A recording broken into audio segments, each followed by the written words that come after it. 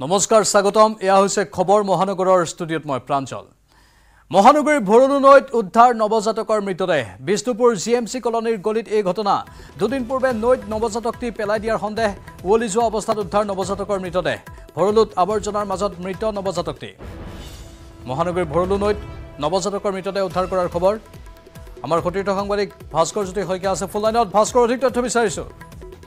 হয় নিশ্চয়কৈ প্ৰাঞ্জল যিহেতু যি বিষ্ণুপুৰ কলনী আছে Bishnupur G M C colony আছে এই জি এম চি কলনীত আজি পুৱাৰ ভাগতে এটা নৱজাতকৰ মৃতদেহ প্ৰত্যক্ষ কৰিছে স্থানীয় লোকে আৰু সেই নৱজাতকটিৰ মৃতদেহ প্ৰত্যক্ষ কৰাৰ পিছতে কিন্তু ফটাশী লামবাৰী থানাত তেওঁলোকে খবৰ দিছিল। আৰক্ষীক খবৰ দিছিল খবৰ আৰক্ষী অহাৰ পিছতেই কিছু সময় পূৰ্বে আৰক্ষীয়ে ইতিমধ্যে নৱজাতকটিক লৈ যায়। ইতিমধ্যে ওচৰৰ যিসকল ওচৰ চুবুৰীয়া আছে তেওঁলোকে ইতিমধ্যে মন্তব্য কৰিছে যে এই নৱজাতকটি হয়তো দুদিন পূৰ্বেই এই নদীত পেলাই দিয়া হৈছিল। আৰু তেওঁলোকে কৈছে যে বানপানী যিহেতু হৈছিল কেইদিনমান পূৰ্বে যিহেতু বানপানী হৈছিল দুদিনৰ পূৰ্বে বানপানী যিহেতু হৈছিল সেই বানপানীতেই এই নৱজাতকটি উটি অহাৰ তেওঁলোকে সন্দেহ কৰিছে।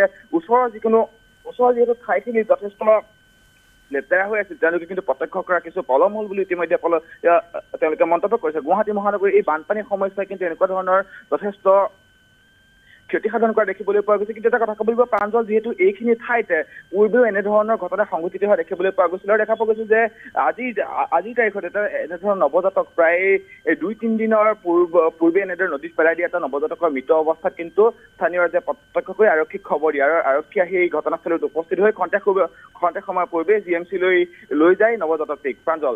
ধন্যবাদ ভাস্কৰ জ্যোতি শইকীয়া।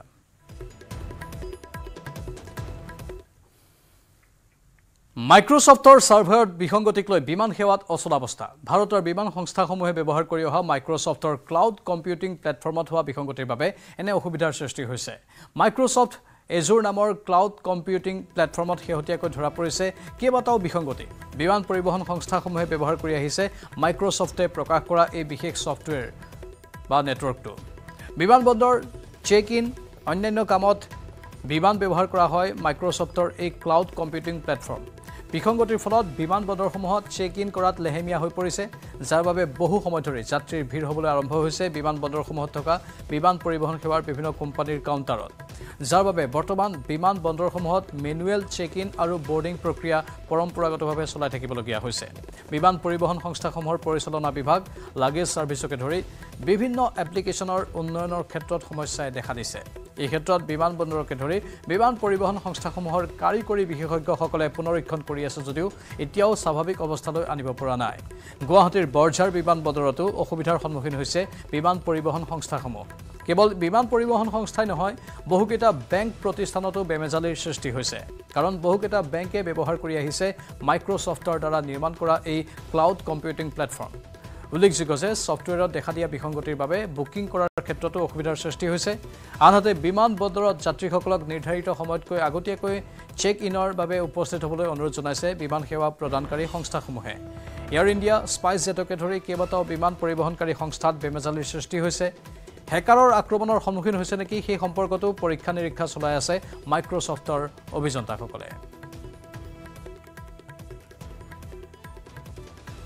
ইতিমধ্যে হায়দৰাবাদত তেইছখন বিমান বাতিল কৰা হৈছে আকাংক্ষা ইণ্ডিগো বিমানৰ উৰণতো পলম হৈছে বিমানবন্দৰত মেনুৱেল বৰ্ডিং ভিস্তৰা বিমানৰো কাৰিকৰী বিসংগতিৰ স্পষ্টীকৰণ শীঘ্ৰে কাৰিকৰী বিজুতি দূৰ কৰাৰ আশ্বাস মাইক্ৰছফ্টৰ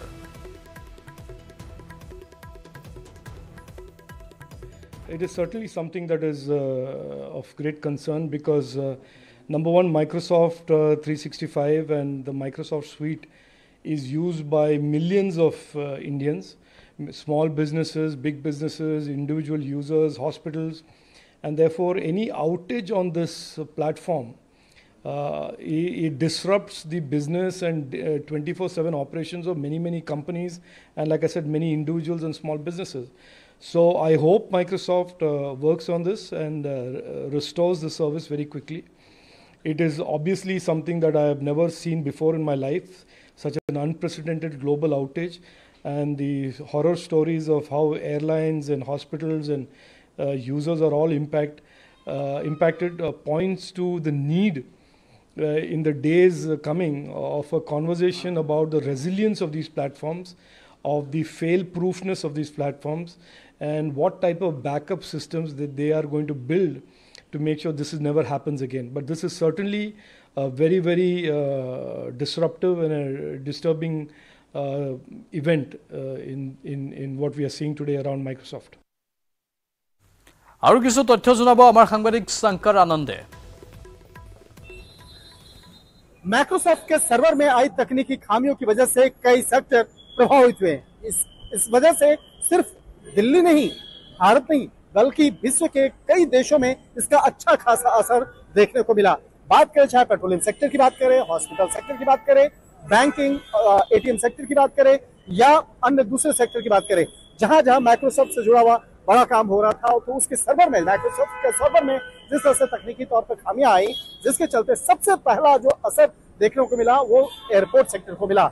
इस वक्त में मैं आपको विशेष तौर पर दिखाता हूँ कि इस वक्त में दिल्ली स्थित आईजी एयरपोर्ट पे हूँ। यहाँ जो लंबी एक लाइन जो आप है, वो देख सकते हैं। लंबी लाइनों की अगर बात करें तो जिस तरह से यहाँ पर देखा जा सकता है कि पिछले काफ़ी समय से लंबी लाइन जो है बाकायदा वो यहाँ पर लगी हुई है। और जिस तरह से तकनीकी खामियों की बात करें तो तकनीकी खामियों की वजह से यहाँ पर लोगों को चाहे टिकट कटाने में या चेक इन करने में या चेकआउट करने में या अपने विमान संबंधित तमाम जानकारियों को लेने में काफ़ी दिक्कतों का सामना करना पड़ रहा है। और दूसरे सेक्टर की अगर बात करें ब्रिटेन की बात करें यूएस की बात करें यूएसए की बात करें तो या या फ्रांस की बात करें तो कई ऐसे देश हैं जहाँ पर इन तकनीकी खामियों की वजह से जो उनके कई ऐसे बड़े सेक्टर्स जो हैं खासतौर पर ऑयल इंडस्ट्री पेट्रोलियम इंडस्ट्री के साथ साथ कई अन्य जो सेक्टर्स हैं वो अच्छा खासा प्रभावित हुआ है और जिसके चलते लोग काफ़ी ज़्यादा परेशान हो रहे हैं। तो इस मामले पर हालाँकि माइक्रोसॉफ्ट का जो अ, कहना है कि जल्द से जल्द इस मामले पर एक उसका समाधान किया जाएगा और इस मामले पर जल्द से जल्द समाधान करने के साथ ही जो किस तरह से दिक्कतें आई हैं, क्यों ये दिक्कतें आई हैं, इसके बारे में भी औपचारिक तौर पर जानकारियाँ साझा की जाएगी। अगर भारत की बात करें तो भारत के चाहे हैदराबाद की बात करें, बेंगलुरु की बात करें, और इसके साथ साथ कई ऐसे साइबर हब वाले जो इलाके की बात करें चाहे गुरुग्राम लोकेशन की बात करें तो कई ऐसे बड़े बड़े जो कंपनियाँ हैं, अपने कंप्यूटर नेटवर्क्स को बंद कर दे रही है, क्योंकि उन्हें ऐसा अंदाज़ा लग रहा था, एक अंदेशा लग रहा था कि हो सकता है कि साइबर अटैक हो। तो कहीं ना कहीं कहा जा सकता है कि कॉरपोरेट सेक्टर पर भी एक अच्छा खासा असर देखने को मिला है, जिसकी वजह से लोग काफ़ी परेशान नज़र आ रहे हैं। वीडियो जर्नलिस्ट सोनू मंडल के साथ शंकर आनंद आईजी एयरपोर्ट दिल्ली। কেৱল ভাৰততে যে প্ৰভাৱ পৰিছে তেনে নহয় বিদেশৰ বিভিন্ন প্ৰান্ততো ইয়াৰ পূৰ্ণ প্ৰভাৱ পৰিছে লণ্ডনৰ ৰেল ষ্টেচনৰ পৰিৱেশ দেখুৱাব আমাৰ নিউজ এইটিনৰ সাংবাদিক সঞ্জয় চুৰীয়ে कि माइक्रोसॉफ्ट क्या फेल हुआ सारी दुनिया में उथल पुथल मच गई है यहाँ लंदन में यहाँ हम ट्रेन लेने के लिए इंतज़ार में हैं लेकिन ट्रेन की सर्विस कैंसिल हो चुकी है और ये केवल एक उदाहरण है अभी ट्रेन का इंतज़ार कर रहे हैं। कुछ निश्चित नहीं कि वो भी चलेगी या नहीं। और इसी तरह सारे लंदन के ट्रेन स्टेशन में हलचल मची हुई है। किसी को समझ नहीं आ रही कि वो कहाँ जाए, क्या करें। सारे एयरपोर्ट्स पर डिस्ट्रप्शन हो रही है। यहाँ हीथ्रो एयरपोर्ट में गैटविक एयरपोर्ट पे ऊपर स्कॉटलैंड में एडिनबरा एयरपोर्ट में मैनचेस्टर एयरपोर्ट में हर जगह फ्लाइट्स को कैंसिल किया जा रहा है। और यात्रियों को कुछ समझ नहीं आ रही कि वो अब क्या करें और आगे कब सर्विस जो हैं नॉर्मल तौर पर रिस्टोर होंगी। और खाली ब्रिटेन की बात नहीं है, सारे विश्व की बात है। यूरोप में देखिए बर्लिन में हॉलैंड में, अब ये मुश्किल हो जाएगा। एक ऐसी जगह का नाम लेना या एक ऐसी सर्विस का नाम लेना जहाँ पर डिस्ट्रप्शन नहीं हुई। स्काई न्यूज़ यहाँ है, उसकी ब्रॉडकास्टिंग बंद है। बीबीसी का एक चैनल बंद है। बैंकिंग की सर्विसेज बंद है लंदन स्टॉक एक्सचेंज की सर्विसेज बंद हैं सब कुछ निर्भर है कि ये माइक्रोसॉफ्ट की सर्विस जो है चले और जब वो नहीं चली दुनिया जो है ऊपर नीचे हो गई है कोई सर्विस नॉर्मल नहीं चल रही है कुछ निश्चित नहीं कब जाके ये मामला जो है सुधरे পৰৱৰ্তী খবৰ মুছলমানৰ জনসংখ্যা বৃদ্ধিক লৈ পুনৰ সৰব মুখ্যমন্ত্ৰী হিমন্ত বিশ্ব শৰ্মা। প্ৰতি দহ বছৰত মুছলিম জনসংখ্যা ত্ৰিছ শতাংশ বৃদ্ধি পোৱা বুলি পুনৰ দাবী মুখ্যমন্ত্ৰীৰ। আনহাতে প্ৰতি দহ বছৰত হিন্দুৰ জনসংখ্যা ষোল্ল শতাংশ বৃদ্ধি বুলি তথ্য দিলে মুখ্যমন্ত্ৰীয়ে। এই হিচাপত প্ৰতি দহ বছৰত মুছলমানৰ জনসংখ্যা বাইছ লাখকৈ বৃদ্ধি পাইছে। লগতে মুখ্যমন্ত্ৰীয়ে ক'লে ধুবুৰী বৰপেটালৈ গ'লেই গম পোৱা যায় মুছলমানৰ জনসংখ্যা কিমান কিমান বৃদ্ধি পাইছে। প্ৰত্যেক দহ বছৰত মুছলিম পপুলেশ্যন অসমত টুৱেণ্টি নাইন পাৰ্চেণ্ট কৰি বাঢ়ি আছে। থাৰ্টি ফাইভ আছিলে থাৰ্টি ফ'ৰ হ'ল টুৱেণ্টি নাইন হ'ল। কিন্তু ৰাফলি প্ৰত্যেক দহ বছৰৰ মূৰে মূৰে thirty percent twenty nine oblique thirty ত্ৰিছ শতাংশকৈ মুছলিম বাঢ়ি আছে। এক কোটি চল্লিছ লাখ মুছলমান আছিলে দুই দুই হাজাৰ এঘাৰত। চ' ত্ৰিছ শতাংশ বাঢ়িলে কিমান হ'ল? নেক্সট ত্ৰিছ শতাংশ বাঢ়িলে কিমান হ'ল? হিন্দুও বাঢ়িছে। হিন্দু বাঢ়িছে ষোল্ল শতাংশ। গতিকে প্ৰত্যেক দহ বছৰত ইন কম্পেয়াৰ টু মুছলিম হিন্দু মুছলিম ষোল্ল শতাংশ বাঢ়ে। গতিকে ষোল্ল শতাংশ হ'লে কিমান হ'ব? এক কোটি চল্লিছ লাখ আছে। ষোল্ল শতাংশ হ'লে বাইছ লাখ। প্ৰত্যেক দহ বছৰৰ মূৰত বাইছ লাখ মুছলিম অসমত বাঢ়ে। গতিকে দুই হাজাৰ এঘাৰৰ পৰা একৈছত বাইছ লাখ বাঢ়িলে একৈছৰ পৰা একত্ৰিছত বাইছ লাখ একত্ৰিছৰ পৰা একচল্লিছত বাইছ lakh then they become majority এইটো এইটো এটা পৰিসংখ্যা যিটো মই কোৱাৰ কাৰণে হিমন্ত বিশ্ব শৰ্মাই কৈছে এনেকুৱা লাগি আছে মই কোৱা নাই। ইণ্ডিয়ান চেঞ্চাছে কৈ আছে এইটো। মোৰ মোৰ কোৱা তথ্য নহয় এইটো। পুনৰ ৰাহুল গান্ধীক টাৰ্গেট মুখ্যমন্ত্ৰী হিমন্ত বিশ্ব শৰ্মাৰ। জনসংখ্যা ৰোধৰ ক্ষেত্ৰত ৰাহুল গান্ধীয়ে ল'ব পাৰিব গুৰুত্বপূৰ্ণ ভূমিকা। জনসংখ্যা ৰোধৰ ক্ষেত্ৰত সজাগ নোহোৱাসকলে কংগ্ৰেছৰ কথা শুনে। সেইকাৰণে মই ভাবোঁ যে জনসংখ্যা কমোৱাৰ আটাইতকৈ গুৰু দায়িত্ব কংগ্ৰেছৰ ওপৰত কাৰণ কংগ্ৰেছৰ কথা তেওঁলোকে শুনে। কালিৰ পৰা যদি পপুলেশ্যন কণ্ট্ৰলৰ ব্ৰেণ্ড এম্বেচেডৰ ৰাহুল গান্ধী হৈ যায় তেতিয়া ফটাফট কাম হ'ব। খটাখট নহ'লেও ফটাফট হৈ যাব। কিয় তেওঁৰ কথা শুনে? মোৰ কথাটো নুশুনে নহয় মোকতো এনিমি বুলি ভাবে না। বিয়া নপতা মানুহজন কেনেকে তেওঁৰ কথা শুনে মানুহে না। বিয়া পাতি বাৰটা জন্ম দি এইটো ব্ৰেণ্ড এম্বেচেডৰ হ'ব নালাগেতো তেওঁৰ কথা শুনে মানুহে মোৰ কথাটো নুশুনে। আজি আপোনালোকে এখন মুছলিম গাঁৱত যাওক দুটা নাম লৈ যাওক যে হিমন্ত বিশ্ব শৰ্মাই কথা ক'লে শুনিবনে ৰাহুল গান্ধীয়ে কথা ক'লে শুনিব? সকলোৱে ক'ব ৰাহুল গান্ধীয়ে ক'লে শুনিম বুলি। দুখন কাগজ লৈ যাওক যে ৰাহুল গান্ধীয়ে ক'লে শুনিবনে মোদীয়ে ক'লে শুনিব তেওঁলোকে ক'ব ৰাহুল গান্ধীয়ে ক'লে শুনিম। গতিকে জনসংখ্যা নিয়ন্ত্ৰণত আটাইতকৈ যদি ডাঙৰ ভূমিকা কোনোবাই পালন কৰিব পাৰে ৰাহুল গান্ধীয়ে পাৰে। ইফালে মুছলমান জনসংখ্যা বৃদ্ধি সন্দৰ্ভত মুখ্যমন্ত্ৰীৰ মন্তব্য বিভ্ৰান্তিকৰ। এই প্ৰতিক্ৰিয়া এ আই ডি এফ বিধায়ক ৰফিকুল ইছলামৰ। ঝাৰখণ্ডত এটা মানে গলত বয়নী কৰিলে ভুল ব্যাখ্যা দিলে ভুল তথ্য দিলে দি গোটেই ভাৰতবৰ্ষৰ মানুহক মিছগাইড কৰাৰ কাৰণে চেষ্টা কৰিলে আমি লাজ পাওঁ। অসমৰ মুখ্যমন্ত্ৰী মুখ্যমন্ত্ৰীৰ চকীৰ পৰা তেখেতে যেতিয়া ভুল তথ্য দি মানুহক বিভ্ৰান্ত কৰাৰ চেষ্টা কৰিব আকৌ যেতিয়া ধৰা পৰিব তেখেতে তেখেতে কৈছে ঊনৈছশ একপঞ্চাছ চনত অসমত বাৰ শতাংশ মুছলমানৰ জনসংখ্যা আছিল। আৰু এইটো ভুল তথ্য। তেখেতে নিজে কৈ গৈছে তেখেতে যেতিয়া অসম চুক্তি ৰূপায়ণ মন্ত্ৰী আছিল শ্বেতপত্ৰ প্ৰকাশ কৰিছিল তেখেতৰ সেই শ্বেতপত্ৰত এইটো উল্লেখ আছে যে ঊনৈছশ একপঞ্চাছ চনত অসমত চৌব্বিছ শতাংশ মুছলমান আছিল। মুখ্যমন্ত্ৰী কিছুদিন আগত তেখেতে লিখি গৈছে ডকুমেণ্ট আছে যে চৌব্বিছ শতাংশ মুছলমান আছিল। মুখ্যমন্ত্ৰীৰ আগত ষ্টাডি কৰক আপুনি ব্যস্ত আমি বুজি পাওঁ আপুনি ব্যস্ত কিন্তু আপুনি পাহৰি যাব নালাগে আপোনাৰ সেই শ্বেতপত্ৰটো আপুনি পঢ়ক আপুনি গুগল কৰি চাই লওক যদি সময় নাই আপুনি ডেটাখিনি চাই লওক। নাইনটিন ফৰ্টি ফিফটি ওৱানত অসমত চৌব্বিছ শতাংশ মুছলমান আছিল।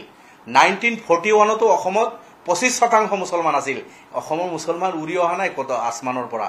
অসমৰ মুছলমান অসমতে আছিল। এতিয়া নাইনটিন ফৰ্টি ওৱানত যদি পঁচিছ শতাংশ মুছলমান আছিল নাইনটিন ফিফটি ওৱানত চৌব্বিছ শতাংশ মুছলমান আছিল ফিফটি ওৱানৰ পৰা দুই হাজাৰ এঘাৰত চৌত্ৰিছ শতাংশ অসমত মুছলমানৰ জনসংখ্যা বাঢ়িছে। ষাঠি বছৰত গৈ দহ শতাংশ বাঢ়িছে। এইটো অস্বাভাৱিক একো নহয়। মুখ্যমন্ত্ৰীৰ মন্তব্যক লৈ সৰব বিধায়ক আমিনুল ইছলামো। সংবাদমেল পাতি মুখ্যমন্ত্ৰীৰ সমালোচনা বিধায়কগৰাকীৰ। মুখ্যমন্ত্ৰীৰ মন্তব্য সম্পূৰ্ণ ৰাজনৈতিক মন্তব্য আখ্যা। মুখ্যমন্ত্ৰীয়ে মুছলমানক লৈ দিয়া তথ্যক ভুল আখ্যা দিছে। মুছলিম আইনক লৈ লোৱা সিদ্ধান্তকো গৰিহণা দিছে আমিনুল ইছলামে। ঝাৰখণ্ডত গৈ অসমৰ স্থিতি সম্পৰ্কে যি অৱগত কৰিছে সম্পূৰ্ণ এটা ভুল ধাৰণা তেখেতে স্পষ্ট কৰিছে। তেখেতে স্পষ্টভাৱে কৈছে যে ঊনৈছশ পঞ্চাছ চনত বা একাৱন্ন চনত যিটো পপুলাৰ মানে যিটো চেঞ্চাছ হৈছিল। That means first census of India nineteen fifty one আজিৰ দিনত সেইটো এন আৰ চি সেই চেঞ্চাছত তেখেতে কৈছে বাৰ পাৰ্চেণ্ট মুছলিম থকা বুলি। আচলতে এইটো ইণ্ডিয়া পাকিস্তান ডিভাইড হোৱাৰ পিছতহে ইণ্ডিয়াৰ বাৰ পাৰ্চেণ্ট মুছলিম আছে। অসমত সেই সময়ত পঁচিছ শতাংশ মুছলমান আছে। এটা ভুল ধাৰণা তেখেতে স্পষ্টভাৱে কৈছে যে ইয়াত বাৰ শতাংশ আছিল বুলি। এটা ভুল ধাৰণা তাত স্পষ্ট কৰিছে। আমাৰ কথাটো হ'ল যে আজি যিটো সময়ত অসমৰ পঁচিছ শতাংশ মুছলমান মানুহ আছিল সেই সময়ত অসমৰ নাগালেণ্ড, মিজোৰাম, অৰুণাচল প্ৰদেশ, ত্ৰিপুৰা, মেঘালয় সকলো উত্তৰ পূৰ্বাঞ্চল সকলো ৰাজ্য একেলগে আছে। সেই সময়ত অসমৰ মুছলমানৰ সংখ্যা আছিল পঁচিছ শতাংশ। যে পঁচিছ শতাংশৰ পৰা চল্লিছ শতাংশলৈ আহোঁতে ইয়াৰ পৰা ছটা ৰাজ্য ওলাই গৈছে। আৰু এই ছয়টা ৰাজ্যৰ চাৰিটা, পাঁচটা ৰাজ্য আমাৰ tribal state declare except Tripura. সকলো ট্ৰাইবেল ছটা ৰাজ্য ইয়াৰ পৰা ওলাই গৈছে। তেতিয়া আল্টিমেটলি যিখন অসম থাকি গ'ল, সেইখনত টুৱেণ্টি ফাইভ পাৰ্চেণ্টেজটো বুম হৈ থাৰ্টি পাৰ্চেণ্ট প্লাছ হৈ গ'ল এই ধাৰণাটো কোনেও স্পষ্ট নকৰে। অসমৰ মানুহবিলাকে অসমৰ মানুহবিলাকক সদায় এই কথাটো জনাই থকা হয় যে বাংলাদেশৰ পৰা অনুপ্ৰৱেশকাৰী এই পাৰ্চেণ্টেজটো বাঢ়ি গৈছে। আচলতে ইয়াৰ পৰা ট্ৰাইবেল মানুহবিলাক যেতিয়া ওলাই গ'ল ছখন ৰাজ্য তাৰপিছত কিন্তু ইয়াৰ মুছলমানৰ সংখ্যাটো বাঢ়িলে। আধাৰ কাৰ্ড যিবিলাক ওলাই গ'ল যিখিনি থাকি গ'ল মুছলমানৰ সংখ্যাটো বাঢ়িলে। এইটো হ'ল মূল কজ বাক্সাৰ বেন্নাবাৰীত ভূমিকেন্দ্ৰিক সংঘাত। নিজ গৃহতে প্ৰহিত হ'ল ভূমিৰ গৰাকী। ঘৰতে প্ৰহাৰ ভূমিৰ গৰাকী গিৰিছ হালৈক। আঁতৰ আলি নামৰ এজনক খেতি কৰিবলৈ মাতি দিছিল হালৈয়ে। এইবাৰ খেতি কৰিবলৈ নিদিয়াৰ বাবে সৃষ্টি হয় তৰ্কযুদ্ধৰ। এই ঘটনাৰ কিছু সময়ৰ পাছতে প্ৰহাৰ গিৰিছ হালৈ আঁতৰ আলিয়ে তিনি পুত্ৰক লগত লৈ প্ৰহাৰৰ অভিযোগ উত্থাপন হৈছে। প্ৰহিত হ'ল গিৰিছ হালৈৰ পত্নী পূৰ্ণিমা হালৈও। এই আক্ৰমণত আহত হয় হালৈ দম্পতী। আক্ৰমণকাৰীক আটক কৰাৰ দাবী গাঁওবাসীৰ। ঘটনাটো মানে মই মাটি বছৰে ঠিকা দিওঁ। এইবাৰ সিহঁতক ঠিকা দিয়া নাই। নেদাৰ হৈ তাৰমানে সি কৈছে যে মাটিটো দেখোন এনে পৰি থাকিল। বোলো এনে পৰি থাকিব মোৰ মাটিটো এনে পৰি থাকক কিন্তু তোক ঠিকা দিলে তই ধানটোহে দিয়া মোক তো বেহতটো নেদা। এনে কওঁতে সি তাৰমানে মোক মানে বকচিচ মাৰবা খোজে আৰু চাইকেল দি মাৰবা খোজে। সেনেকে মাৰবা খোজোতে তাৰে পিছত সি সেনেকে কাজিয়া কৰি একদমক গুচি গ'ল। গুচি যাই মাত্ৰ নেক্সট টাইম আৰু সি দুটা বজাত আহিছে। এই আঁতৰাল। আৰু সি দু- দুটা বজাত ফাইজ পুতেক বৰুণ পুতেক আৰু এটা সৰু নামৰ পুতেক পুতেক আহিকে তাৰমানে বুকুত গুৰি ৰৈছে গুৰিৰে বুকুত গুৰিৰে উঠি মেতে মোক একেবাৰে মাৰি ধৰ গোটেই একেবাৰে মাথা চাথা দগৰি বকচিচ মাৰিছে মাৰি মাতে চিয়াৰকে টান টানি মাতে বাটক লগি নিবা খুজিছিল। পৰেশ বৰুৱাক এন আই এ আদালতত হাজিৰৰ নিৰ্দেশ। এন আই এ আদালতৰ পৰেশ বৰুৱালৈ নিৰ্দেশ। বাতৰি কাকতত বিজ্ঞাপন প্ৰকাশ কৰি এই নিৰ্দেশনা আদালতৰ। তিনি আগষ্টত পৰেশ বৰুৱাক হাজিৰৰ নিৰ্দেশ দিয়া হৈছে। এন আই এৰ গোচৰ নম্বৰ আৰ চি এক অব্লিক দুই শূন্য দুই চাৰিত এই নিৰ্দেশ আদালতৰ। বাৰম্বাৰ পৰোৱানাৰ পাছতো আদালতত হাজিৰ হোৱা নাছিল পৰেশ বৰুৱা। আদালতত এন আই এ দাখিল কৰা চাৰ্জশ্বিটৰ ভিত্তিতে এই নিৰ্দেশ দিয়া হৈছে। পৰেশ বৰুৱাৰ লগতে অৰুণোদয় দহোটীয়ালৈও নিৰ্দেশ। পৰেশ বৰুৱা কামৰুজ্জামান খান নুৰ উজ জামান জামান ভাই প্ৰদীপ পৱন বৰুৱা বিভিন্ন নামেৰে আত্মগোপন কৰি থকাৰ দাবী নেশ্যনেল ইনভেষ্টিগেশ্যন এজেঞ্চিৰ।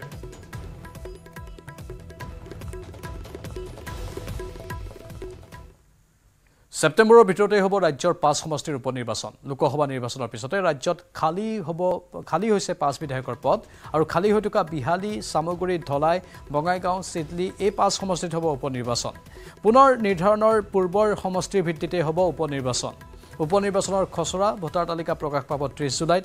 দহ আগষ্টলৈ ওজৰ আপত্তি দাখিল কৰিব পাৰিব। চূড়ান্ত ভোটাৰ তালিকা প্ৰকাশ পাব বিছ আগষ্টত। দিছপুৰত চি ই অ' অনুৰাগ গোৱেলৰ সংবাদমেল যিকেইটা সমষ্টিত ইলেকশ্যন আছে আৰু যিকেইটা সমষ্টিৰ লগত এই সমষ্টি পাঁচটা লিংক হৈ আছে। মানে আগত আপুনিতো জানে সমষ্টিকেইটা এট- বেলেগ বেলেগ ডিষ্ট্ৰিক্টত আছিলে। সেই পাঁচটা সমষ্টিৰ লগত ষোল্ল সমষ্টি টোটেল হৈ যায় যি লিংক হৈ আছে। এই ষোল্ল সমষ্টিটো এতিয়া ফ্ৰিজ হৈ আছে। চ' পষ্ট ডিলিমিটেশ্যনত অনলাইন এপ্লিকেশ্যন চলি আছে কিন্তু for this by election there'll be no' online application so' this is very important আৰু উইণ্ডোটা খুব কম কাৰণ দহ আগষ্ট পিছত আমি মাত্ৰ ছয় সাত দিনে পাম ডিছপ'জ কৰিবলৈ আৰু বিছ আগষ্টত আমি ৰোল পাব্লিছ কৰি দিম।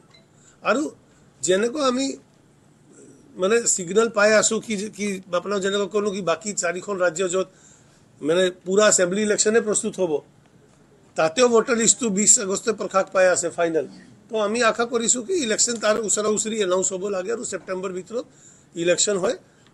May be by before Durga Puja we should be able to finish মানে this should be the expected timeline কিন্তু let us see uh, when honorable commission announces and what dates come কিন্তু আমি আশা কৰিছোঁ কি বিছ আগষ্টৰ পিছত তেনেকুৱা ডেটটো থাকিব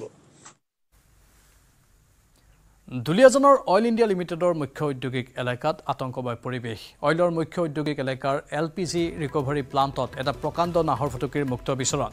উদ্যোগ প্ৰতিষ্ঠানটোৰ চি চি টিভিৰ কেমেৰাত আবদ্ধ হৈছে নাহৰ ফুটুকীৰ মুক্ত বিচৰণৰ দৃশ্য। ইয়াকে কেন্দ্ৰ কৰি অইলৰ কৰ্মৰত বিষয়া আৰু কৰ্মচাৰীৰ মাজত আতংকময় পৰিৱেশে বিৰাজ কৰিছে। এয়া চি চি টিভিৰ দৃশ্যবোৰ দেখুৱাইছোঁ। দুলীয়াজানৰ অইল ইণ্ডিয়া লিমিটেডৰ মুখ্য ঔদ্যোগিক এলেকাত এনেধৰণেই এই নাহৰ ফুটুকীটোৱে আতংকৰ সৃষ্টি কৰিছে। অইলৰ মুখ্য ঔদ্যোগিক এলেকাৰ এল পি জি ৰিকভাৰী প্লাণ্টত এই নাহৰ ফুটুকীটোৱে মুক্তভাৱে বিচৰণ কৰি আছে।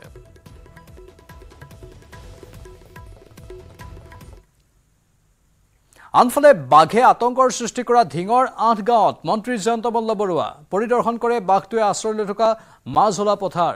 বাঘ পিঞ্জৰাবদ্ধ কৰিবলৈ বন বিভাগৰ অত্যাধুনিক পদ্ধতি কম সময়ৰ ভিতৰতে বাঘটোক পিঞ্জৰাবদ্ধ কৰাৰ আশ্বাস মন্ত্ৰীগৰাকীৰ। হাবিৰ মাজত সংস্থাপন কৰা হৈছে দহটাকৈ চেঞ্চৰ কেমেৰা। বন বিভাগৰ কৰ্মচাৰীসহ পাঁচজন লোক আহত এই বাঘৰ আক্ৰমণত।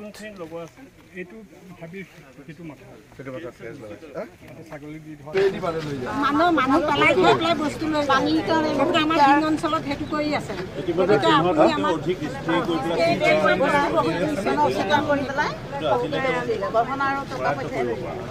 গতিকে আপুনি অকণ বেগলৈ সন্ধ্যা সময়ত আহিব সোনকালে সোমাই থাকে বাইছ আগষ্টৰ পৰা অসম বিধানসভাৰ শৰৎকালীন অধিৱেশন। বাইছ আগষ্টৰ পুৱা চাৰে ন বজাৰ পৰা আৰম্ভ হ'ব এই অধিৱেশন। ৰাজ্যপালে জাৰি কৰিলে অধিসূচনা। বাইছ আগষ্টৰ পৰা অসম বিধানসভাৰ শৰৎকালীন অধিৱেশন আৰম্ভ হ'ব। বাইছ আগষ্টৰ পুৱা চাৰে ন বজাত আৰম্ভ হ'ব এই অধিৱেশন। ইতিমধ্যে ৰাজ্যপালে জাৰি কৰিছে অধিসূচনা।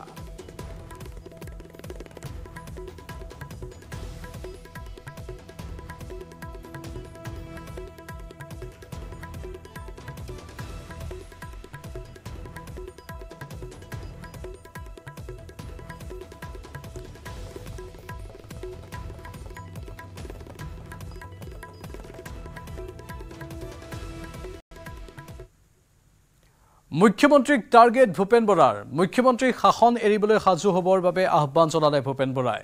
মুখ্যমন্ত্ৰীৰ চোৰাংচোৱাক অপৰিণত আখ্যা ভূপেন বৰাৰ। ভূপেন বৰাৰ ঘৰত হোৱা চুৰি কাৰ্যক লৈও প্ৰতিক্ৰিয়া। ভূপেন বৰাৰ মতে তেওঁৰ ঘৰত সোমাইছিল ৰাজনৈতিক চোৰ। নাৰায়ণপুৰ থানাত গোচৰৰ অগ্ৰগতিৰ বুজ ল'লে ভূপেন বৰাই। মুখ্যমন্ত্ৰীৰ বিৰুদ্ধেও মন্তব্য প্ৰকাশ কৰিলে প্ৰদেশ কংগ্ৰেছৰ সভাপতি ভূপেন কুমাৰ বৰাই। কেইটামান পইচা বা কেইটামান কাপোৰ নিছে সেইটো বৰ ডাঙৰ কথা নহয় তেনেকুৱা হয়। কিন্তু আটাইতকৈ ডাঙৰ কথা যে চোৰ যিকেইজন আহিছিলে তাত পলিটিকেল চোৰ আছে। ৰাজনীতি বুজা ইংৰাজী পঢ়িব পৰা চোৰ আছে। মোৰ তিনিটা ফাইল আছিলে আপুৰুগীয়া ফাইল বুলি যাক কয় চব পৰিয়ালৰে থাকে। চব পৰিয়ালৰে কিছুমান বংশাৰ পুৰণা ডকুমেণ্টছ থাকে। মোৰ তিনিটা ফাইল আছিলে এটা ফাইল তেওঁলোকে ফালি চিৰি দলিয়াই ফৰ্ম এই তাৰপৰা কেইখনমান কাগজ লৈ গৈছে। বাকীবিলাক মানে খঙত মানে ফালি চিলি থৈ পেলাই এই পেলাই থৈ গৈছে। এটা ফাইলত। এটা ফাইলত মই বিহপুৰীয়া সমষ্টিত এই দহ বছৰ এম এল এ হিচাপে। ধৰক এই নাৰায়ণপুৰ থানাখন মোৰ দিনত চেংচন হৈছিলে এই লেটাৰখন। দলং এখন চেংচন হৈছে লেটাৰখন। অমৃত বৃক্ষ এপ মুকলি। ৰাজ্যত পুনৰ অমৃত বৃক্ষ আন্দোলন একৰ পৰা পোন্ধৰ আগষ্টলৈ গছপুলি ৰোপণৰ লক্ষ্য তিনি কোটিৰো অধিক গছপুলি ৰোপণৰ লক্ষ্য নিৰ্ধাৰণ কৰা হৈছে। মুখ্যমন্ত্ৰীয়ে মুকলি কৰিলে অমৃত বৃক্ষ এপ। বিগত বৰ্ষত নব্বৈ শতাংশ গছপুলি জীয়াই আছে বুলিও মুখ্যমন্ত্ৰীয়ে আজি সংবাদমেলত সদৰি কৰে। দুহেজাৰ তেইছ চনত এক কোটি বাৰ লাখ গছপুলি ৰোপণ কৰিছিল। এই বছৰত বন বিভাগে চাৰি কোটি গছপুলিৰ ব্যৱস্থা কৰিছে। সৰ্বমুঠ দহ কোটি গছপুলি ৰোপণৰ লক্ষ্য নিৰ্ধাৰণ কৰা হৈছে বুলি মুখ্যমন্ত্ৰীয়ে সদৰি কৰে। অমৃত বৃক্ষ আন্দোলনৰ পঞ্জীয়নৰ ব্যৱস্থা থাকিব নবীকৰণ পঞ্জীয়নৰ ব্যৱস্থা থাকিব সেনা বায়ুসেনা নিৰাপত্তা বাহিনীকো অন্তৰ্ভুক্ত কৰাৰ কথা উল্লেখ কৰে। এক পেৰ মা কে নাম আঁচনিৰ নামতো গছপুলি ৰুব পাৰিব। এন জি অ' ক্ষুদ্ৰ চাহ খেতিয়ককো কৰিব জড়িত। ক্ষুদ্ৰ চাহ খেতিয়কৰ বাবে পৰ্টেলৰ ব্যৱস্থা লোৱা হৈছে। এইবাৰ অমৃত বৃক্ষ আন্দোলন আমি এক আগষ্টৰ পৰা পোন্ধৰ আগষ্টলৈ আমি ইয়াক পৰিচালনা কৰিম যাতে পোন্ধৰ দিনৰ ভিতৰত যিকোনো এদিনতে আমি গছপুলিটো ৰোপণ কৰিব পাৰোঁ। যোৱা বছৰ আমাৰ টাৰ্গেট আছিলে এক কোটি। আমি গছপুলি ৰোপণ কৰিব পাৰিছিলোঁ এক কোটি বাৰ লাখ। তাৰমানে যোৱাবাৰ আমি টাৰ্গেট এক্সিড কৰিছিলোঁ। সেই সফলতাত উৎসাহিত হৈ এইবাৰ আমি টাৰ্গেট তিনি কোটি ৰাখিছোঁ। যে যোৱাবাৰ আমি এক কোটি গছপুলি ৰুইছিলোঁ এইবাৰ আমি তিনি কোটি গছপুলি ৰুম আৰু ভৱিষ্যতৰ দিনত আমি আৰু গছপুলি বেছিকৈ ৰূপায়ণৰ বাবে আমি চেষ্টা কৰিম। আমাৰ টোটেল টাৰ্গেটটো হ'ল যে দহ কোটি গছপুলি আমি তিনি বা চাৰি বছৰৰ ভিতৰত আমি ৰোপণ কৰিব লাগে। আৰু দহ কোটি গছপুলি যদি আমি ৰোপণ কৰিব পাৰোঁ তেতিয়াহ'লে মই বিশ্বাস কৰোঁ যে in next five to six years আমি পৰিৱেশৰ ওপৰত এটা যথেষ্ট পজিটিভ প্ৰভাৱ পেলাব পাৰিম আৰু সমান্তৰালকৈ এটা গছৰ বাণিজ্যিকৰণ কমাৰ্চিয়েলাইজেশ্যনৰ প্ৰক্ৰিয়া এটাও আৰম্ভ হ'ব। সেই দিশৰ পৰা এই বছৰ আমি পোন্ধৰ দিনত আমি চাৰি কোটি গছপুলি ৰূপায়ণৰ বাবে আমি তিনি কোটি গছপুলি আৰু এক কোটি ৰিপ্লেচমেণ্ট যাতে গছপুলি কেইডাল যদি ঢুকায় বা মৃত্যু হয় লগে লগে তাক যাতে আমি ৰিপ্লেচ কৰিব পাৰোঁ। তাৰ কাৰণে আমি চাৰি কোটি গছপুলি আমি তৈয়াৰী কৰি ৰাখিম তিনি কোটি গছপুলি আমি ৰোপণ কৰিম। উপ নিৰ্বাচনত কংগ্ৰেছৰ স্থিতিক লৈ অখিল গগৈৰ প্ৰতিক্ৰিয়া। অখিল গগৈ ক'লে বিৰোধী ঐক্যমঞ্চত ভাত মেলা নাই। কিন্তু কংগ্ৰেছে বাকী বিৰোধী দলসমূহক লৈ যিদৰে আগবাঢ়িব লাগিছিল তেনেকৈ আগবঢ়া নাই। লোকসভা নিৰ্বাচনৰ দৰে উপ নিৰ্বাচনতো আমি কংগ্ৰেছক সহায় কৰিম বুলি ভাবিছিলোঁ। কিন্তু কংগ্ৰেছে কি ভাবি অকলে উপ নিৰ্বাচন খেলিবলৈ ওলাইছে সেই কথা নাজানো বুলি প্ৰতিক্ৰিয়া অখিল গগৈৰ। অসমৰ মানুহক যদি বিজেপিৰ অপশাসনৰ পৰা মুক্ত কৰিব লাগে অসমৰ মানুহক যদি বিজেপিৰ এই বস্তুৰ মূল্য বৃদ্ধিৰ ব্যৱস্থাৰ পৰা আঁতৰাই আনিব লাগে অসমৰ প্ৰত্যেকখন মানে অটো অটো ৰিক্সাৰ ওপৰত মানে আপোনাৰ কৰ নতুন নতুন যি ধৰণৰ কৰ কাটলৰ ব্যৱস্থা হিন্দু মুছলমানৰ ৰাজনীতি সাম্প্ৰদায়িক ৰাজনীতি অসমৰ মানুহ উশাহ ল'ব নোৱাৰা যিটো অগণতান্ত্ৰিক পৰিৱেশ সেই পৰিৱেশটো নাইকিয়া যদি কৰিব লাগে তেতিয়াহ'লে সকলোৱে জানে যে বিৰোধী ঐক্যমঞ্চই ঐক্যবদ্ধ হৈ থাকি আমি ইলেকশ্যনটো খেলিব লাগে। আৰু সকলোৱে আমি ভাবি আছিলো আমাৰ ৰাইজৰ দলে ভাবি আছিলো যে আমি সকলোৱে মিলি এইবাৰ আমি দুহেজাৰ চৌবিছ চনৰ যিটো উপ নিৰ্বাচন হ'ব এইটো আমি কংগ্ৰেছকে সমৰ্থন কৰিম। কিন্তু কংগ্ৰেছে কি ভাবি আমি নাজানো? কি ভাবি আমি নাজানো? কংগ্ৰেছৰ কংগ্ৰেছে কৈ দিলে যে তেওঁলোকৰ তৃণমূলৰ কৰ্মীবিলাকে কৈছে যে নহয় নিৰ্বাচন উপ নিৰ্বাচন অকলগে একেলগে নেখেলে তেওঁলোকে অকলে খেলিব। উপ নিৰ্বাচনৰ কাৰণে আমাৰ বিৰোধী পক্ষৰ মাজত কোনো চুক্তি হোৱা নাই। তো আমাৰ বোলে বুজাবুজিটো অকল আপোনাৰ বিধানসভা আৰু লোকসভাৰ কাৰণেহে আছিলে। অ তাৰমানে আমাৰ এনেকুৱা নেকি যে লোকসভাত তোমালোকে অকলে জিকিব নোৱাৰা গতিকে আমাৰ সহায় লাগে। বিধানসভাত তোমালোকে অকলে জিকিব নোৱাৰিব তাৰ কাৰণে আমাক সহায় লাগে আমাক খটুৱাবা। আৰু যি সময়ত তোমালোকৰ চৰকাৰ গঠনৰ কথা নাথাকিব সেই সময়ত আমাক লাট মাৰি দিবা। এইটোতো হ'ব নোৱাৰে। শিলচৰৰ বেৰেংগাত শোকাবহ ঘটনা। ভনীয়েকৰ প্ৰাণ ৰক্ষা কৰিবলৈ গৈ পুখুৰীত পৰি মৃত্যু বাৰ বছৰীয়া কিশোৰীৰ। শিলচৰ বেৰেংগা চতুৰ্থ খণ্ডৰ ইছলামুদ্দিন লস্কৰৰ সৰু কন্যা গা ধুবলৈ নামিছিল পুখুৰীত।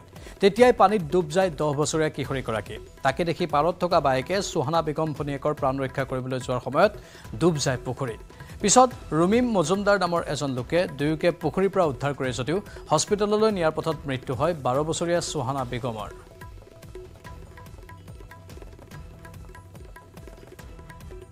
স্কুল সংলগ্ন একটি পুকুরে স্নান করতে গিয়ে জলে ডুবে দেয় সেখান থেকে শিলচর মেডিকেল কলেজে নেওয়া হয় এবং শিলচর মেডিকেল কলেজ গতকাল পাঁচটা বাজায় ওনাকে মৃত্যু ঘোষণা করে। আজ ওনার সমাধির জন্য ওনার বাসভবনে আনা হয়েছে।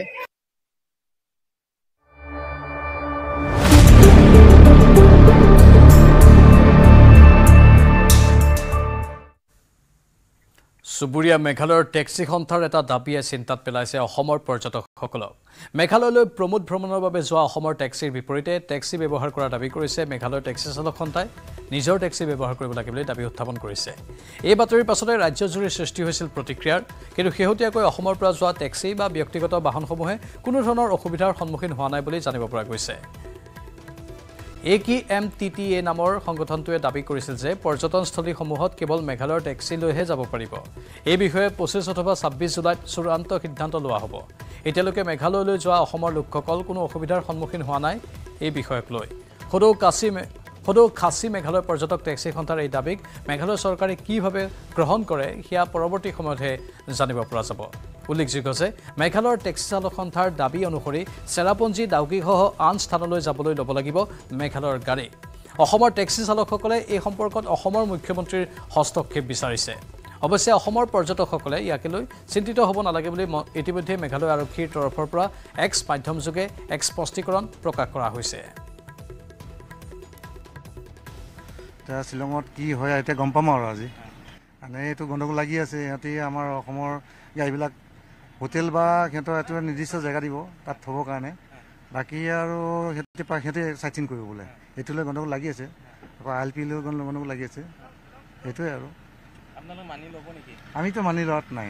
কিয় আমাৰ আমি গোটেই মেঘালয় যদি মেঘালয় গভৰ্ণমেণ্টে আৰু আমাৰ অসম গভৰ্ণমেণ্টে যদি আমাৰ মিলামিলি কৰি মিলামিলি কৰি পিনে যদি সেইটো কৰে মিলামিলি হয় তেতিয়াহে আমি মান্তি হ'ম নহ'লে মান্তি নহওঁ আমি সকলোকে অসমবাসী ৰাইজ হওক বা মেঘালয়বাসী ৰাইজক সকলো পৰ্যটককে আমি seven state tourist cab operator ইউনিয়নৰ তৰফ- তৰফৰ পৰাই আমি জনাবলৈ ওলাইছোঁ যে কোনো ধৰণৰ ইয়াতে মেঘালয়ত কোনো ধৰণৰ অসুবিধা নাই। আপোনালোকে ইয়াতে পৰিভ্ৰমণ কৰিবলৈ আহক। সুন্দৰভাৱে আপোনালোকে পৰিভ্ৰমণ কৰিবলৈ পাব। ইয়াৰ মাজতে মেঘালয়ৰ পৰ্যটন মন্ত্ৰীৰ এটা ভাষ্য আহিছে যে মেঘাল মেঘালয়ত নিষিদ্ধ হ'ব পাৰে অসমৰ টেক্সি। নিৰ্দিষ্ট স্থানলৈকেহে যাব পাৰিব অসমৰ টেক্সি। এয়া মেঘালয়ৰ পৰ্যটন মন্ত্ৰী পল লিংডোহৰ মন্তব্য। পৰ্যটন মন্ত্ৰী পল লিংডোহে দিছে অসমৰ টেক্সি নিষিদ্ধ হোৱাৰ ইংগিত। মেঘালয়ৰ টেক্সি সন্থাৰ দাবী বিবেচনা কৰি আছে চৰকাৰে। শীঘ্ৰে এই সম্পৰ্কত সিদ্ধান্ত ল'ব মেঘালয় চৰকাৰে। হয়তো পৰ্যটনস্থলীসমূহলৈ যাব নোৱাৰিব অসমৰ টেক্সি। নিৰ্দিষ্ট স্থানত ৰখাব লাগিব অসমৰ পৰা যোৱা টেক্সি। মেঘালয়ৰ টেক্সি লৈহে যাব পাৰিব পৰ্যটনস্থলীসমূহ ভ্ৰমণৰ বাবে। দুয়োখন ৰাজ্যৰ টেক্সি চালক সন্থাৰ মাজত এতিয়া সংঘাতৰ আশংকা কৰা হৈছে। ইতিমধ্যে অসমৰ পৰ্যটকসকলৰ মাজত সৃষ্টি হৈছে প্ৰতিক্ৰিয়াৰ। এই বিষয়টোক লৈ ব্যাপক চৰ্চা চলি থকাৰ মাজতে মেঘালয়ৰ পৰ্যটন মন্ত্ৰীৰ এই ভাষ্যই বা এই ইংগিতে স্বাভাৱিকতে অধিক চাঞ্চল্যৰ সৃষ্টি কৰিছে। মেঘালয়ৰ পৰ্যটন মন্ত্ৰী পল লিংডোহে মন্তব্য প্ৰকাশ কৰিছে যে মেঘালয়ত নিষিদ্ধ হ'ব পাৰে অসমৰ টেক্সি নিৰ্দিষ্ট স্থানলৈকেহে যাব পাৰিব অসমৰ টেক্সি।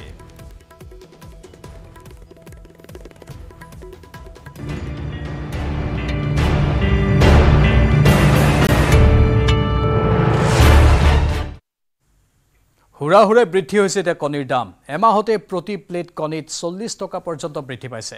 এমাহ পূৰ্বে এশ ষাঠি টকাত বিক্ৰী হোৱা প্লেটৰ বৰ্তমান মূল্য দুশ টকা হৈছেগৈ।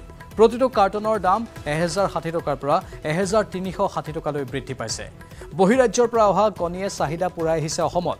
কিন্তু শেহতীয়াকৈ অসমত অস্বাভাৱিকভাৱে বৃদ্ধি পাইছে কণীৰ দাম। প্ৰতিটো কণীৰ দাম আঠ টকা হৈছেগৈ অসমত। পূৰ্বে ছটকা বা সাত টকা দৰত বিক্ৰী হৈছিল কণী। আমাৰ সতীৰ্থ সাংবাদিকসকলে বিভিন্ন বজাৰত পৰিভ্ৰমণ কৰিছে। তাৰ মাজত সাংবাদিক উৎপল হালৈও গৈছিল এখন বজাৰলৈ। ৰিপৰ্ট আগবঢ়াইছোঁ। হয় চাওক অত্যাৱশ্যকীয় সামগ্ৰীৰ মূল্য প্ৰত্যেক দিনে বৃদ্ধি হৈছে যাৰ ফলত সৰ্বসাধাৰণ ৰাইজে এক প্ৰকাৰ তেখেতসকলে ক্ষুব্ধ হৈ পৰিছে। আৰু এই মুহূৰ্তত মই উপস্থিত আছোঁ মহানগৰীৰ হাতীগাঁৱৰ এখন কণীৰ দোকানত। আৰু কণীৰ দোকানত ইতিমধ্যে যিসমূহ হ'লচেলৰ দোকান আছে এই হ'লচেল দোকানখনৰ নাম হৈছে শ্ৰীৰাম ই এজেঞ্চি। আৰু এই এজেঞ্চিখনৰ পৰা গুৱাহাটী মহানগৰীৰ বিভিন্ন স্থানলৈকে এইসমূহ কণী যায়। ইয়াতে বিভিন্ন ধৰণৰ কণী আছে আৰু সতীৰ্থ অঞ্জনে দেখুৱাইছে। প্ৰথমতে যিখন বেনাৰ লাগি আছে বিশেষকৈ দৰ। এই দৰ আজিৰ দিনটোৰ দৰ লিখা আছে যে যদিহে চোৱা যায় কাৰ্টন হিচাপত তেৰশ ষাঠি টকা আছে আৰু যদি ত্ৰিছ পিচ লয় অৰ্থাৎ এক প্লেট ল'লে দুশ টকা এয়া হ'লচেল ৰেট। আৰু ইয়াৰ পৰা যোৱাৰ পিছত যেতিয়া খুচুৰা মাৰ্কেট যাব সেই ৰেট আকৌ বৃদ্ধি হ'ব। আৰু পূৰ্বৰ যদি দাম উল্লেখ কৰোঁ তেতিয়াহ'লে কাৰ্টনৰ প্ৰতি এতিয়া তিনিশ ষাঠি টকাকৈ বৃদ্ধি হোৱা পৰিলক্ষিত হৈছিলে। পূৰ্বৰ দহ দিন পূৰ্বলৈকে এক হাজাৰ ষাঠি টকাকৈ বিক্ৰী হৈছিলে আৰু আজিৰ দিনটোত তেৰশ ষাঠি টকাকৈ বিক্ৰী হৈছে। স্বত্বাধিকাৰীগৰাকী আছে তেওঁৰ পৰা জানিবলৈ চেষ্টা কৰিম যদি সম্ভৱ হয়। দাদা দাম কেনেকুৱা হৈছে এতিয়া? এতিয়া বৰ্তমান এই কাৰ্টুন তেৰশ ষাঠি হ'ল। আৰু প্লেট দুইশ টকা হ'ল। আগতে কিমান আছিলে? পাঁচ তাৰিখৰ আগত আপোনাৰ তেৰশ আছিলে। এতিয়া তেৰশ ষাঠি হ'ল। প্লেটত কিমান আছিলে? এশ নব্বৈ টকা। এশ নব্বৈ উম। কি কাৰণে বৃদ্ধি হৈছে বুলি গম পাইছে? এইটো নেশ্যনেল কৰ্ডিশ্যন কমিটিয়ে ডিচাইড কৰে। কি বেচত কৰে তেওঁলোকে ক'ব পাৰি। ৰাইজে আগৰ নিচিনা কিনি আছেনে সামগ্ৰী? খোৱা মানুহতো খাবই লাগিব উপায় নাই আৰু। অলপ বেয়া পায় কিবা কিবি কয় আৰু চিণ্ডিকেট মিণ্ডিকেট কয়। কিন্তু এইবিলাক উপায় নাই আৰু এইটো নেশ্যনেল কৰ্ডিশ্যন কমিটিয়ে ডিচাইড কৰে। কমাৰ সম্ভাৱনা আছে নেকি? আপ ডাউনটো হয় কিন্তু কেতিয়া কমে আমিও ক'ব নোৱাৰিম। এক হাজাৰ ষাঠি টকাও আছিলে নেকি মাজতে প্লেট একশ ষাঠি। একশ ষাঠিটো নাছিল তেখেতে হয়তো ডাটাখিনি দেখুৱাব বা সংগ্ৰহ কৰি আছে সতীৰ্থই দেখুৱাব। আপোনাৰ এই দোকানৰ পৰা ক'লৈকে নিয়ে সামগ্ৰীসমূহ? ক'ত ক'ত দিয়ে চাপ্লাই দোকানীবিলাক লয় বেছি দূৰত নাযায় আৰু ওচৰে পাঁজৰে দোকানীবিলাক লয়। এইটো চাওক এই একশ আশী আছিল বিশ তাৰিখলৈ। বিশ তাৰিখলৈকে একশ আছিলে আশী আছিলে। আৰু আজি যদি চোৱা যায় এইটো যোৱা মাহৰ কথা কৈছে যে জুন মাহত এশ ষাঠি টকা আছিলে এশ আশী টকা এশ আশী টকা। আছিলে। কিন্তু আজিৰ তাৰিখত যদি সেই নিৰিখ হৈ গৈছেগৈ দুশতকৈ অধিক আৰু তেৰশ ষাঠি টকা কাৰ্টন হৈছে। অৰ্থাৎ এমাহৰ ভিতৰতে যদি চোৱা যায় বিভিন্ন কাৰণ আছে বুলি উল্লেখ কৰিছে। কিন্তু তেখেতে কমিটিয়ে নিৰ্ধাৰণ কৰি দিয়া ৰেটতহে লোৱা উল্লেখ হৈছে। আৰু লোক আছে দাদা ডিমা ল'ব আহিছে নেকি? হয় হয়। দাম বাঢ়িছে নেকি? দামটো বাঢ়িছে বহুত বাঢ়ি গৈছে আপোনাৰ। অসুবিধা হৈছে বহুত অসুবিধা হৈছে। এতিয়া চবৰে মূল্য বৃদ্ধি হৈছে চাউল দালি বহুতৰে মূল্য বৃদ্ধি হৈছে তো জনসাধাৰণৰ বহুত অসুবিধা হৈছে। তো অলপ দামটো কমিলে ভাল হয় আৰু। কি কাৰণে বাঢ়িছে কিবা গম পাইছে নেকি? নাই গম নাপাওঁ। এইটোতো চৰকাৰে গম পাব এইটোতো আমাৰ লুকআউট নহয়। এইটোৱে এতিয়া সৰ্বসাধাৰণ ৰাইজে দুৰ্ভোগ ভোগা পৰিলক্ষিত হৈছিলে।